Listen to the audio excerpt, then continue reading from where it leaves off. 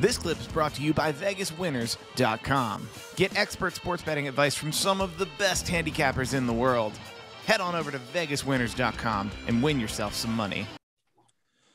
And the dream continues literally. Here's the American Dream on Mid Atlantic TV talking about Arn Anderson on April 19th, 1986.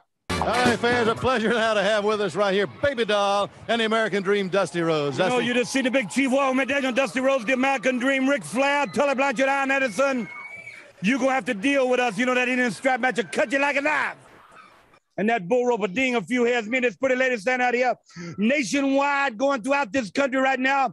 I've been talking about a lot of people for a lot of weeks, but I'm going to lay it right in your lap.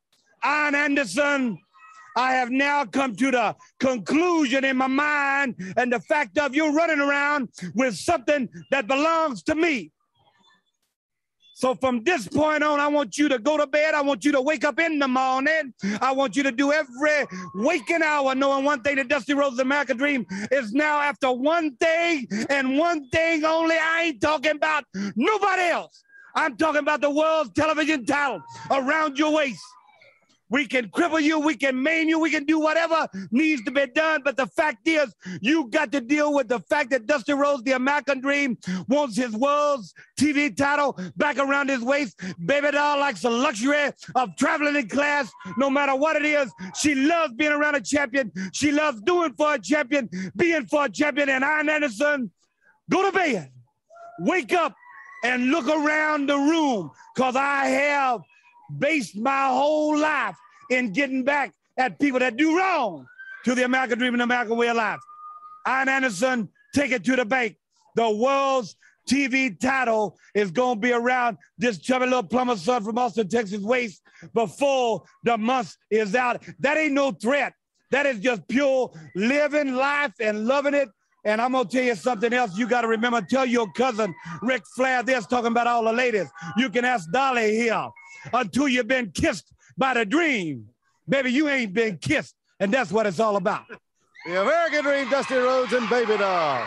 And fans, we'll be right back. We'll have more after we take this time out. Dude, how great is Dusty? Ah, I'm fixing to lose that TV title, Lorna. I mean, it sounds like it to me. Yeah, yeah. The jig is up. For him to make that promise on that TV that strong, I am in the crosshairs, fixing to lose that title. Some bitch.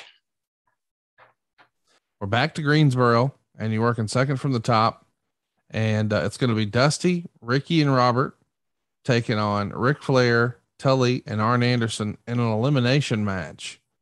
Now, this to me feels like where the rubber meets the road because there's been lots of uh, interviews that Ricky and Robert have done over the years where they felt like Dusty was not exactly happy with how over they had gotten. He felt like maybe they had gotten more popular than he. Of course, Dusty never said that, but that's certainly the way Ricky and Robert felt over the years. But now they're all here in a six man. Do you remember Ricky and Robert ever having hurt feelings that you knew of with Dusty back in the day? Were they outward in discussing it, or is that something they probably just played real close to the vest? Close to the vest. I mean, they were so red hot. I mean, Yeah. God Almighty. I mean, the the little girls would drown out the guys, and man, when they would come through the curtain, you could hear those shrill voices. Those guys were as hot as anybody at any point. You know, Dusty was over.